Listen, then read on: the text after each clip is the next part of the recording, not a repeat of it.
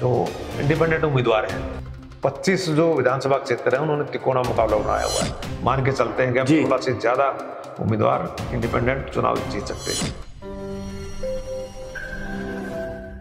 नमस्कार दोस्तों मैं हूँ राजेंद्र दत्त और आप देख रहे हैं अर्थ प्रकाश टीवी। दोस्तों हरियाणा में 5 अक्टूबर को चुनाव है और 8 अक्टूबर को यह फैसला हो जाएगा कि कौन बनेगा हरियाणा का राजा कौन बनेगा हरियाणा का किंग। और सब, इन सब चीज़ों के लिए कहीं ना कहीं पार्टियों को बहुमत की ज़रूरत पड़ती है। अगर सरकार बनानी है तो बहुमत चाहिए। लेकिन हरियाणा में ऐसा बहुत बार हो चुका है, जब पार्टियाँ स्पष्ट बहुमत के साथ नहीं आई और उन्हें कहीं ना कहीं निर्दलीय जो उम्मीदवार होते हैं, उनका सहारा लेना पड़ता है और निर्दलीय उम्मीदवार हमेशा ही किंग मेकर की भूमिका में रहे हैं। आज इसी पर चर्चा करते हैं कि हरियाणा में इस बार जो किंग मेकर हैं, या यूँ कहिए कि जो निर्दलीय हैं, वो किस ओर जा सकते हैं। किस और जाएँगे और उनकी भूमिका क्या इस बार सरकार बनाने में हो सकती है? और इस पर चर्चा करने के लिए मेरे साथ है सतीश मेहरा जी जो हरियाणा की राजनीति के बहुत अच्छे जानकार हैं। आइए उनसे चर्चा करते हैं। मेहरा साहब सबसे पहले तो आपका स्वागत है हमारे धन्यवाद। नमस्कार। मेहरा साहब आपको क्या लगता है कि इस बार जो हरियाणा विधानसभा चुनाव है उसमें जो निर्दलीय है वो किस तरह का रोल अदा कर सकते हैं? देखिए आप आज आपने निर्दलियों की बात की है राजेंद्र जी।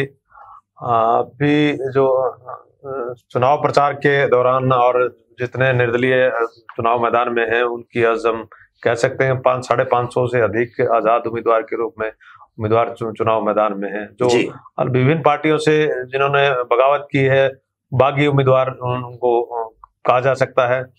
अगर हम कांग्रेस की पार्टी की बात करें तो जो चौदह जो वो बागी उम्मीदवार हैं जो आज़ाद उम्मीदवार के रूप में चुनाव लड़ रहे हैं, वो कांग्रेस के बागी हैं। जी। और जिन और इसके अलावा छह आज़ाद उम्मीदवार के रूप में जो चुनाव लड़ रहे हैं वो वो वो भारतीय जनता पार्टी से ये सारे के सारे लोग चौदह छह बीस जो ये बीस जो उम्मीदवार हैं मैदान में है ये ये कहीं ना कहीं कांग्रेस और भारतीय जनता पार्टी की टिकट के दावेदार थे। जी। इनको पार्टी ने टिकट नहीं दिया।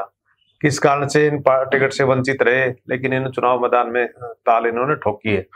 और आज का जो सिनेरियो है, है चुनाव में तो मुझे लगता है 25 विधानसभा क्षेत्रों में बागी उम्मीदवार या तो तिकोणे मुकाबले में है जी। या फिर भारी हैं दोनों पार्टियों के उम्मीदवारों पर।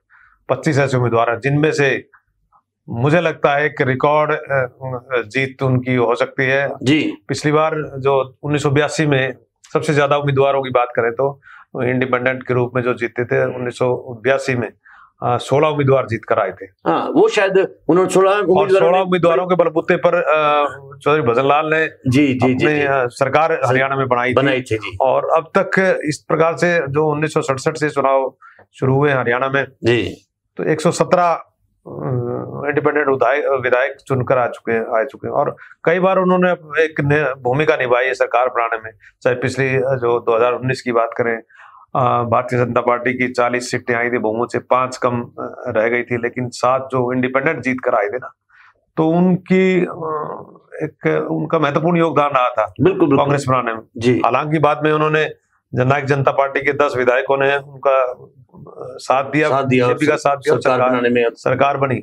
इस प्रकार से कई बार ऐसा हुआ है कि सरकार बनाने में इनका जो आज़ाद विधायक है इनका महत्वपूर्ण योगदान रहा है। और इस बार भी मुझे लगता है हालाँकि इस बार चुनाव एक निर्णायक चुनाव होगा तो अगर हम 20-25 सीटों को छोड़ की बात करें तो तकरीबन सभी सीटों पर पचपन सीटों पर लगभग मान के चलते हैं पचपन सीटों पर डायरेक्ट सीधा मुकाबला। बाइपोलर चुनाव है। और बाइपोलर चुनाव में मुझे लगता है आपकी बार किसी निर्णायक भूमिका किसी पार्टी की हो सकती है जिस प्रकार से आज हवा बह रही है। ज़्यादातर लोग के मुँह से ये आ रहा है कि कांग्रेस की सरकार बनेगी। ये तो चुनाव के बाद ही पता समय लेकिन एक हवा एक हवा जो चुनाव से पहले हो जाती है वो कांग्रेस के पक्ष में बह रही है। मेरा साहब हालाँकि फिर भी हाँ। जो जो इनकी भूमिका रहेगी आज़ाद उम्मीदवारों की भूमिका रहेगी तो उनकी एक निर्णायक भूमिका भी हो सकती है। अगर कहीं ना कहीं बहुमत के नज़दीक भारतीय जनता पार्टी अगर कहीं ना कहीं पहुँच जाती तो भारतीय जनता पार्टी उनको अपनी ओर लेने की भरपूर कोशिश करेगी। दोनों पार्टियाँ कोशिश करेंगी, क्योंकि ये होता क्या है, जिसको सत्ता में आना है जो जोड़ तोड़ तो सत्ता के लिए करने ही पड़ते हैं। अच्छा मेरा साहब, जैसा आप बता रहे हैं कि 25 के करीब ऐसी सीटें हो सकती हैं, जहाँ पर त्रिकोणीय मुकाबला या जो निर्दलीय उम्मीदवार है, वो सीधे जीतते हुए नज़र आ रहे हैं। ऐसी कौन कौन सी सीटें हैं? जरा मैं चाहूँगा हमारे दर्शकों को थोड़ा सा तफसील में बताएँ उस चीज़ के बारे में कि ये कौन कौन से क्षेत्र हो सकते हैं कौन कौन से, कौन सी हो सकती है ये? तो हम सबसे पहले बात करते हैं उधर से सिरसा से लेते हैं। सिरसा जिला में रानिया विधानसभा क्षेत्र रानिया विधानसभा क्षेत्र में चौधरी रणजीत सिंह चुनाव लड़ रहे हैं। आज़ाद उम्मीदवार के है वो। और पहले वो हम्म, भारतीय जनता पार्टी में थे उनका टिकट चाहते थे लेकिन भारतीय जनता पार्टी ने उनको टिकट नहीं दिया। चौधरी रणजीत सिंह इंडिपेंडेंट हैं और उनके मुकाबले में है उनके पोते हैं आई से। अर्जुन चौटाला है चौधरी अभय सिंह के बेटे हैं। और कांग्रेस पार्टी के सर्वमित्र कंबोज हैं जो पत्रकार थे पहले और इसके अलावा शीशपाल कंबोज हैं भारतीय जनता पार्टी से। तो उसमें कहीं ना कहीं चौधरी रणजीत सिंह मुकाबले में है। जी। अगर जीत पाए तो तो एक निर्दलीय विधायक के रूप में उनका क्या रोल होगा वो ये देखने वाली बात बढ़िया रोल अदा लेकिन लेकिन मुकाबले में है मुकाबले में। जी जी, जी। चार कोणीय वहाँ पे कॉन्टेस्ट मुकाबला है। और अगर भारतीय जनता पार्टी का जो उम्मीदवार है अगर वो कमज़ोर स्थिति में रहता है तो कहीं ना कहीं चौधरी रणजीत सिंह को फ़ायदा भी हो सकता है लेकिन फ़िलहाल चौधरी रणजीत सिंह और अर्जुन चौटाला में कांटे की टक्कर है अर्जुन चौटाला फ़िलहाल भारी है लेकिन इंडिपेंडेंट के रूप में आज हम इंडिपेंडेंट आज़ाद हाँ। उम्मीदवारों की उसी पर बात तो करें चौधरी रणजीत सिंह कहीं ना कहीं हाँ, टक्कर देते नज़र आ रहे हैं उनको अब बात करते हैं महम की हम्म। महम में कांग्रेस के जो उम्मीदवार हैं वो है बलराम डांगी है। आनंद सिंह डांगी बेटे कई बार आनंद सिंह डांगी कई बार महम से विधायक रहे हैं। और दूसरी ओर जो आ, एक अपनी ही पार्टी है उनकी प्रहलाद कुंडू की और वो अपनी उससे उम्मीदवार हैं अपनी पार्टी से ही। और जो एक बात कर सक करते हैं हम आज़ाद उम्मीदवार की। आज़ाद उम्मीदवार के रूप में राधा अलावत चुनाव लड़ रही है। जी। जो शमशेर खरकड़ा की धर्मपत्नी है। शमशेर खरकड़ा पहले भारतीय जनता पार्टी के टिकट के दावेदार रहे हैं। और तो राधा लावत तिकोणे मुकाबले में कहीं ना कहीं अच्छी कैंडिडेट है। और राधा लावत जीतना ना जीतना तो ये तो मतदान के बाद पता चल जाएगा मतदान के बाद पता चल जाएगा। लेकिन लेकिन आज़ाद उम्मीदवार के रूप में कहीं ना कहीं वो तिकोणों तिकोणों का मुकाबला बनाए हुए। तो उसमें तो अब बात करते हैं गन्नौर की। जी। गन्नौर में जो भारतीय आज़ाद उम्मीदवार के रूप में चुनाव लड़ रहे हैं देवेंद्र काद्यान है। जी। देवेंद्र काद्यान का एक गन्नौर में नाम है। नाम है। समाज सेवी है वो और उनका समाज सेवा के काम में महत्वपूर्ण योगदान है। चाहे कई तरह का उनका समाज सेवा में वो काम करते रहे हैं और लोगों ने पहचाना भी उनको उनकी जो काम किया है वो काम को पहचानते भी वहाँ के लोग हवा उनके पक्ष में लग रही है। हाँ सबसे भारी मुझे लगता है। आज़ाद उम्मीदवार जो जो पाँच जो भारी उम्मीदवार होंगे ना वो देवेंद्र कात्यान उनमें से एक है। तो वहाँ पे कुलदीप शर्मा चुनाव लड़ रहे हैं स्पीकर रहे पहले कांग्रेस के सरकार में। जी। कुलदीप शर्मा कांग्रेस से हैं और देवेंद्र कौशिक हैं भारतीय जनता पार्टी से। तो देवेंद्र कौशिक और कुलदीप शर्मा ब्राह्मण समुदाय से आते हैं। तो इस वजह से कहीं ना कहीं ब्राह्मण समुदाय के वोट डिवाइड होने की वजह से इस पे गन्नौर में देवेंद्र काद्यान को लाभ हो सकता है देवेंद्र काद्यान जीत की स्थिति में पहुँच सकते हैं। तो ये आज़ाद उम्मीदवार हैं देवेंद्र खाद्यान जी। देवेंद्र काद्यान अब सावित्री जिंदल की बात करते हैं। सार सार जो विधानसभा क्षेत्र है। जी। सावित्री जिंदल एक बड़ा नाम है। बिल्कुल। और देश की सबसे अमीर महिला है। कांग्रेस के वहाँ पे रामनिवास राणा जो सैनी बिरादरी से ताल्लुक रखते हैं। और भारतीय जनता पार्टी के डॉक्टर कमल गुप्ता हैं। जी। तो सावित्री जिंदल के पक्ष में बहुत ही एक पहलू है। इंडस्ट्रिस्ट हम्म। है वो और उनकी बड़ी इंडस्ट्री हिसार में। पंद्रह बीस हज़ार वोट पंद्रह हज़ार से भी ज़्यादा वोट परिवार उनकी इंडस्ट्री से जुड़े हुए हैं। जी जी। वो कहीं ना कहीं सावित्री जिंदल को एक मज़बूत कैंडिडेट के रूप में एक पहचान देते हैं। और कई बार हमने इस पे डिस्कस की है तो चौधरी जिंदल मुझे लगता है कि आज़ाद उम्मीदवारों में सबसे भारी मतों सबसे मज़बूत मज़बूत उम्मीदवार जी जी जी, जी, जी। तो इसी तरह से लाडुआ की भी बात करते हैं। लाडुआ में जहाँ मुख्यमंत्री का जो चुनाव क्षेत्र है। जी। लाडुआ नायब सिंह सैनी भारतीय जनता पार्टी से मुख्यमंत्री हैं वर्तमान मुख्यमंत्री हैं और दूसरी ओर मेवा सिंह है कांग्रेस पार्टी कांग्रेस पार्टी मेवा सिंह है और उसके अलावा लाडुआ में संदीप करग है। अच्छा जी। संदीप करक ने तिकोना मुकाबला बनाया हुआ है। जीतना ना जीतना वो तो मतगणना के बाद पता चल जाएगा चल, चल लेकिन संदीप करक आज़ाद उम्मीदवार के रूप में बहुत अच्छे उम्मीदवार वहाँ पे हैं। मतलब जिस सीट से मुख्यमंत्री नायब सिंह सैनी खुद लड़ रहे हैं उस सीट पे भी कहीं ना कहीं तिकोनिया। मुकाबला होता नज़र आ रहा है। त्रिकोणीय मुकाबला हम वहाँ पे लाडवा में जी बना जी हुआ है। जी जी। असंध की बात करते हैं हम। जी। असंध में शमशेर सिंह गोगी हैं कांग्रेस पार्टी के उम्मीदवार हैं जो निवर्तमान अभी विधायक भी रहे हैं। जी। और सिख समुदाय से वो आते हैं। दूसरे योगेंद्र राणा है भारतीय जनता पार्टी से। वो राजपूत समुदाय से आते हैं। जी। और जो वहाँ पे जिलेराम शर्मा। वो भी बागी उम्मीदवार हैं। जिलेराम शर्मा इंडिपेंडेंट चुनाव लड़ रहे हैं। जिलेराम शर्मा के साथ जो जो जो ब्राह्मण समुदाय के वोट है ना वो बहुत उनका साथ दे रहे हैं। और जिलेराम शर्मा को आप कम नहीं कहा जा सकता। वो कहीं ना कहीं तिकोने मुकाबले में कुछ भी हो सकता है वहाँ पे जिलेराम शर्मा की बहुत अच्छी एक अच्छी टक्कर में as a independent independent candidate जी जी. तो तो पृथला की बात करते हैं पृथला में है अ, नयनपाल रावत हैं जी. निर्दलीय उम्मीदवार हैं. उसके अलावा जो भारतीय जनता पार्टी के टेकचंद शर्मा हैं और कांग्रेस के हैं रघुवीर तेवतिया हैं तो वहाँ नयनपाल रावत ने एक अच्छी स्थिति बनाई हुई है.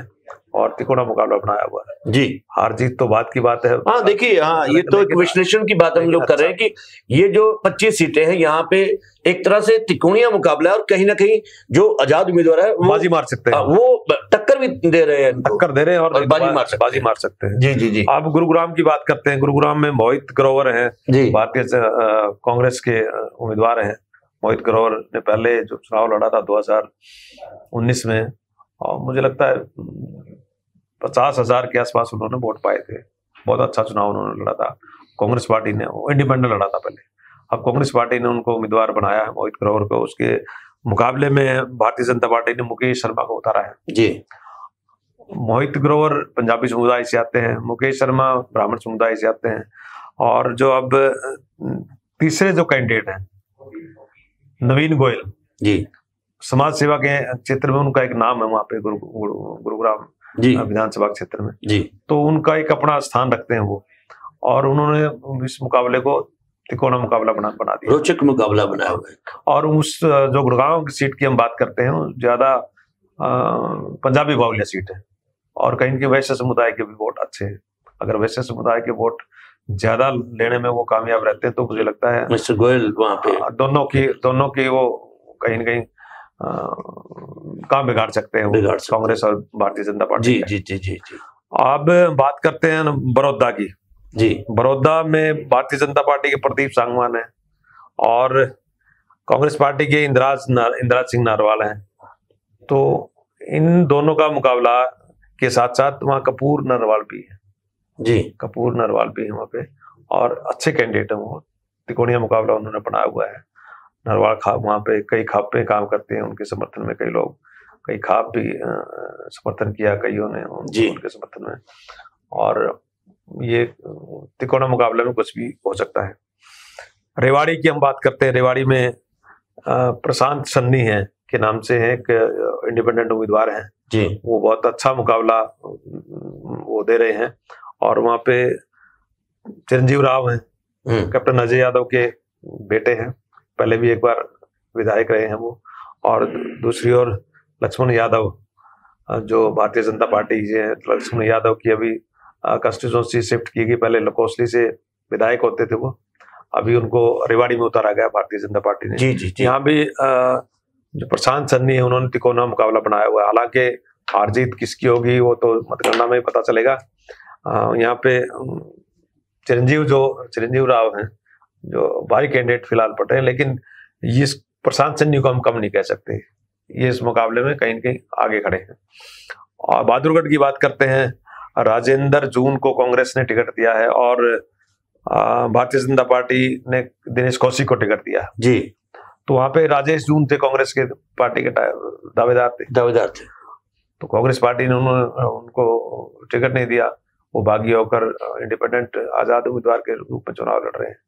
उन्होंने पहले भी काम किया है आ, अपने जो बहादुरगढ़ क्षेत्र है तो उनका कहीं ना कहीं काम अगर काम आया तो जीत जिताऊ भी हो सकते हैं और अगर जिताऊ नहीं हो तो लेकिन दूसरों के दोनों को टक्कर ज़रूर दे रहे हैं। हाँ कहीं ना कहीं ऐसा होता है मुझे लगता है कि ये जो लोग होते हैं तो जिन लोगों ने पाँच साल पिछले अपना धरातल पे काम किया होता है अपना जनमत बनाया होता है तो कहीं ना कहीं इनके साथ लोग जुड़े होते हैं। जुड़े होते और ये इनकी जीत की उम्मीद बहुत ज़्यादा बन जाती है।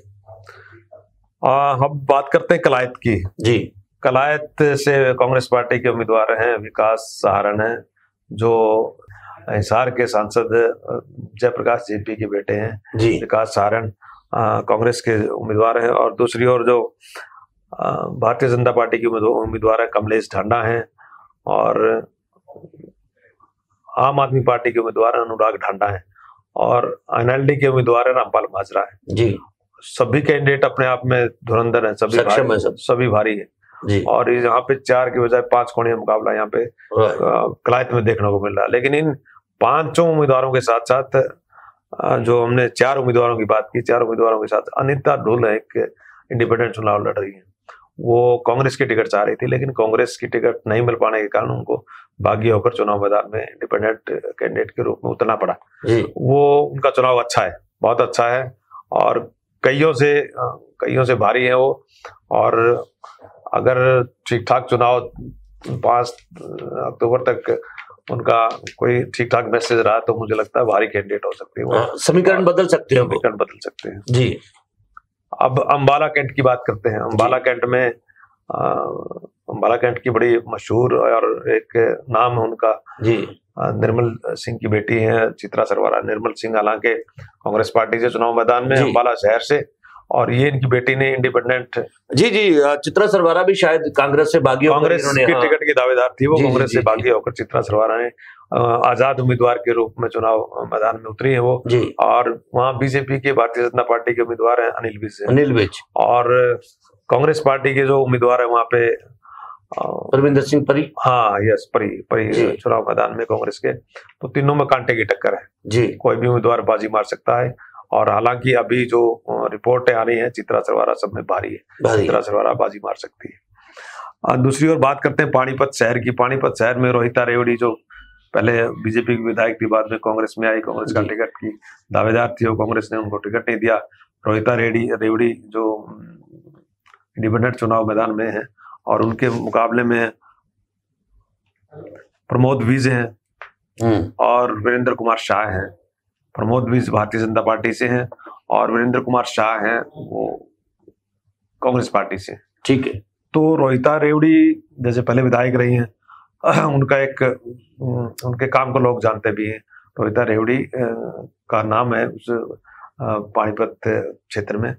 तो वो कम उम्मीदवार कम भारी नहीं हाँ, है पुराने लीडर के साथ वही बात आ गई कि कहीं ना कहीं उनका एक कैडर जुड़ा होता है तो- उसके साथ। कार्डर उसका जो भारतीय जनता पार्टी का कार्डर जुड़ा हुआ था उसका कहीं कहीं फ़ायदा मिलेगा। हम्म, और वो तिकोना मुकाबला बनाए हुए जी। तो बात करते हैं तिगांव की। तिगांव में ललित नागर हैं। वो भी पार्टी के टिकट के दावेदार थे उनको टिकट नहीं मिला। वो इंडिपेंडेंट चुनाव लड़ रहे हैं। उधर भारतीय जनता पार्टी के राजेश नागर हैं और कांग्रेस पार्टी के रोहित नागर हैं। जी।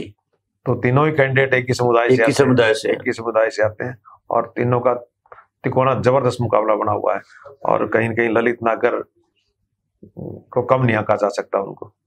और मतगणना के बाद एक चौंकाने वाले नतीजे वो दे सकते हैं कहीं मज़बूत टक्कर में नज़र आ रही हाँ, मज़बूत टक्कर में जो। उधर पुंडरी की बात करते हैं पुंडरी में अक्सर ऐसा रहा है आ, एक दो बार को छोड़कर अक्सर ऐसा रहा है कि वहाँ पे इंडिपेंडेंट चुनाव जीतते रहे। जी। पुंडरी विधानसभा एक क्षेत्र ऐसा है जहाँ पे ऑलमोस्ट ज़्यादातर एक आध बार को छोड़कर और सारे के हर बार है ना आज़ाद उम्मीदवार। आज़ाद उम्मीदवार चुनाव जीतते हैं। इस बार सतबीर भाणा है। सतबीर भाना चुनाव लड़ रहे हैं और उन जो भारतीय जनता पार्टी है सतपाल जाम्बा हम्म, और जो कांग्रेस पार्टी से चुनाव लड़ रहे हैं सुल्तान सिंह जडोला। सुल्तान सिंह जडो- जडोला। सिंह जड़ोला। पहले भी विधायक रहे हैं। जी। इंडिपेंडेंट विधायक रहे हैं वो। बाद बाद में कांग्रेस पार्टी उन्होंने ज्वाइन कर लिया था उन्होंने। जी। सतबीर बाना कहीं कहीं तिकोना मुकाबले में टक्कर दे रहे हैं दोनों उम्मीदवारों को। जीतार का तो पाँच आठ अक्टूबर को मतगणना के बाद ही पता जी जी बिल्कुल बिल्कुल लेकिन वो कहीं दोनों उम्मीदवारों से कहीं भी हाँ। कहीं भी उन्नीस नहीं है वो और चुनाव से पहले वाली जो रात होती है उस उस रात को काफ़ी बदलाव के आसार होते हैं देखने जी, वाली जी। बात है कि आ, उस रात को किस और किसके पक्ष में बदलाव होगा और किसके विरोध में बदलाव जी जी जोड़ तोड़ और सब कुछ तो राजनीतिक पार्टियाँ करती हैं जीतने के लिए और होते रहेंगे ये अब बात करते हैं गोला चीका की जो जी। कैथल ज़िले की जो विधानसभा गोला चीका है वो आरक्षित है और इसमें नरेश ढांडे हैं। इनके पिताजी पहले एमएलए रहे हैं। नरेश ढांडे आज़ाद उम्मीदवार के रूप में चुनाव मैदान में हैं। इसके अलावा देवेंद्र हंस कांग्रेस के उम्मीदवार हैं और इस कुलवंत बाजीकर तो वो भारतीय जनता पार्टी के उम्मीदवार हैं। जी। तो इन्होंने भी कहीं ना कहीं जो नरेश ढांडे हैं इन्होंने भी कहीं ना कहीं तिकोना मुकाबला बनाया हुआ है। टेंशन बढ़ाई हुई है दूसरी पार्टियों टेंशन बढ़ाई हो हालाँकि जो जो आरक्षित सीटें हैं उन पर ज़्यादातर जो भारी कैंडिडेट है वो कांग्रेस के उम्मीदवार भारी हैं। लेकिन इन्होंने तिकोना मुकाबला में ये कहीं ना कहीं खड़े हैं। अब दादरी की बात करते हैं दादरी में अजीत फोगाट हैं। जी। आज़ाद उम्मीदवार चुनाव आज़ाद उम्मीदवार के रूप में चुनाव लड़ रहे हैं। और सुनील सांगवान हैं। जो जेलर हैं रहे हैं उन्होंने रिजाइन करके अभी अच्छा सरकारी नौकरी से रिजाइन किया और भारतीय जनता पार्टी में ज्वाइन किया। ठीक है। और बड़ा चर्चित नाम है सुनील सांगवान का। इनके पिताजी भी मंत्री रहे हैं अभिपा सरकार में। और उनके मुकाबले में कांग्रेस पार्टी की मनीषा सांगवान है। जी। मनीषा सांगवान और सुनील सांगवान में ज़बरदस्त टक्कर है। दोनों सांगवान समुदाय उससे हैं गोत्र से हैं। और जो तीसरे कैंडिडेट हैं अजीत फोगाट। फोगाट खाप का भी वहाँ महत्वपूर्ण रोल होता है। जी। और फोगाट खाप अगर उनको पूरा समर्थन अपना देती है तो वो कैंडिडेट कहीं न कहीं इनसे उन्नीस नहीं पड़ेंगे। वो कहीं कहीं नज़दीक मुकाबले में खड़े हैं अजीत फोगाट। इसके बाद हम बात कर बात करते हैं बाटला की। बाटला में सोमवीर जो आज़ाद उम्मीदवार के रूप में चुनाव लड़ रहे हैं उसके उसके साथ साथ उमेद पातुआस हैं। जी। जो भारतीय जनता पार्टी के उम्मीदवार हैं और सोमवीर सांगवान है बाडला में जो कांग्रेस पार्टी के टिकट पर चुनाव लड़ रहे हैं। जी। तो इन दो तीन यहाँ भी तीनों तिकोना मुकाबला बना हुआ है। सोमवीर घासौत में और उमेद पातुआस में और सोमवीर सांगवान में। तो तिकोना मुकाबले में कहीं न कहीं सोमवीर ये जो घासोत हैं ये तिकोना मुकाबला में खड़े हैं आज़ाद उम्मीदवार के रूप में। कहीं ना कहीं टक्कर में है ये। कहीं डेफिनेटली जी। गोहाना की बात करते हैं गोहाना में अरविंद शर्मा है भारतीय जनता पार्टी के कैंडिडेट हैं। जी। अरविंद शर्मा पहले रोहतक से वो सांसद रहे हैं। जी। अभी चुनाव में वो दीपेंद्र हुड्डा से हार गए थे रोहतक से। और जगबीर मलिक हैं दूसरे को जो कांग्रेस के उम्मीदवार हैं उनके अलावा एक हर्ष सिखारा है।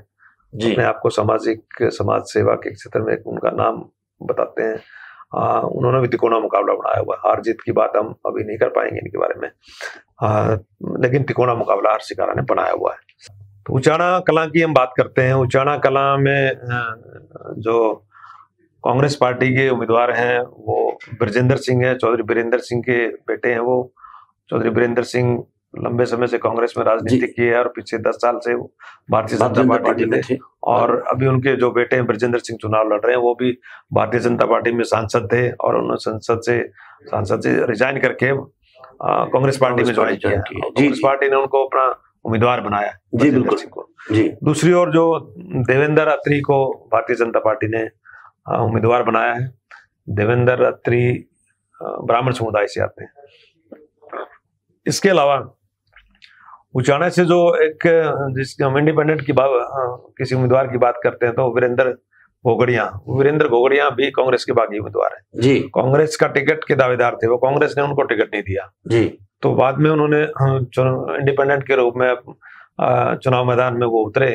और इसके अलावा वीरेंद्र घोगड़िया के अलावा एक और कैंडिडेट वहाँ पे है जो काला चेयरमैन के नाम से जो उचाना प्रॉपर उचाना गाँव से आता है। और वहाँ कहीं की चौकन चौकन्ना मुकाबला है चार कोणिया मुकाबला है। चार कोणिया मुकाबला में वीरेंद्र गोगड़िया को हम कम नहीं कह सकते। जी जी कुछ भी हो सकता हार जीत तो आठ अक्टूबर को पता चलेगा। बिल्कुल बिल्कुल। लेकिन चौकोना मुकाबले में कहीं न कहीं वीरेंद्र गोगड़िया भारतीय जनता पार्टी और कांग्रेस पार्टी के बराबर में खड़े हैं। बराबर में खड़ा। बराबर में खड़े। तो अब बादली की बात करते हैं। बादली में अजीत गुलिया एक इंडिपेंडेंट चुनाव लड़ रहे हैं। अजीत गुलिया विभागीय उम्मीदवार हैं। जी। और वहाँ पे भारतीय जनता पार्टी से ओम प्रकाश धनखड़ है। ओम प्रकाश धनखड़ का एक नाम है। जी जी दो हज़ार बड़े- चौदह में चुनाव जीते वो और एग्रीकल्चर कृषि मंत्री बने और वो प्रेसिडेंट रहे हैं भारतीय जनता पार्टी के हरियाणा के।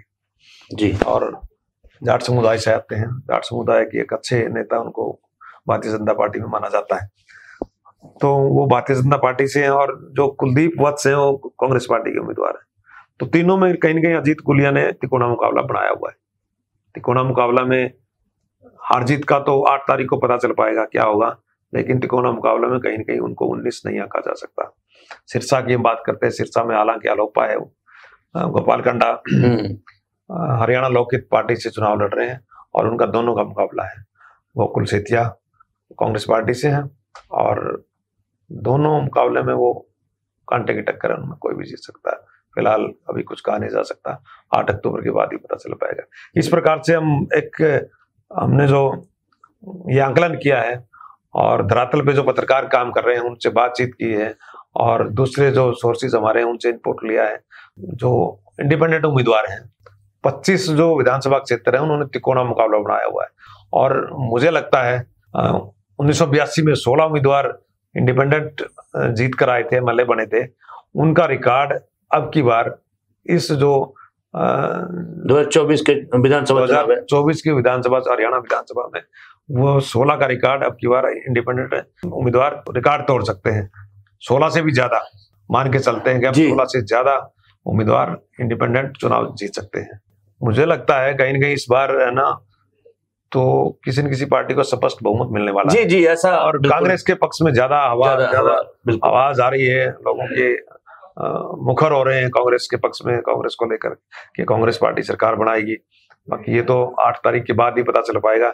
लेकिन अगर किसी भी पार्टी को भारतीय जनता पार्टी को या कांग्रेस पार्टी को आज़ाद विधायकों की अगर ज़रूरत पड़ेगी स्पष्ट बहुमत नहीं मिलता है तो। अगर बाई चांस किसी ऐसी स्थिति आ सकती है कि कोई भी पार्टी स्पष्ट बहुमत के आंकड़े के पास नहीं पहुँचती है तो उसमें भारतीय जनता पार्टी अगर कहीं न कहीं तीस से ऊपर जा से- जा सीटें ले जाती है ऐसा लगता नहीं लेकिन तीस से ऊपर अगर सीटें ले जाती है तो उसकी नज़रें अभी से उन्होंने अपने तार मिलाने निर्दलीय विधायक जो जीत के आ सकते हैं उन्होंने तार मिलाने शुरू कर दिए वो ज़्यादातर विधायक कहीं की भारतीय जनता पार्टी के को सपोर्ट कर सकते हैं। मतलब भारतीय जनता पार्टी के खेमे में आ जा सकते हैं। जा सकते हैं। सो दोस्तों ये था विश्लेषण कि इस बार अगर हम राष्ट्रीय पार्टियों की बात करें, कांग्रेस या भारतीय जनता पार्टी, दोनों ही पार्टियाँ कड़ी मुकाबले में है, कड़ी टक्कर में है। अब कौन सी पार्टी जीतती है, ये तो बात की बात है, किसको स्पष्ट बहुमत मिलता है, ये तो आठ तारीख को स्पष्ट हो जाएगा। लेकिन अगर इन पार्टियों को स्पष्ट बहुमत नहीं मिलता है तो जो निर्दलीय विधायक हैं जीतकर निर्दलीय विधानसभा में जाएँगे, वो एक अहम रोल अदा कर सकते हैं। मेरा साहब, आप हमारे स्टूडियो में आए, आपका बहुत बहुत शुक्रिया। धन्यवाद, नमस्कार।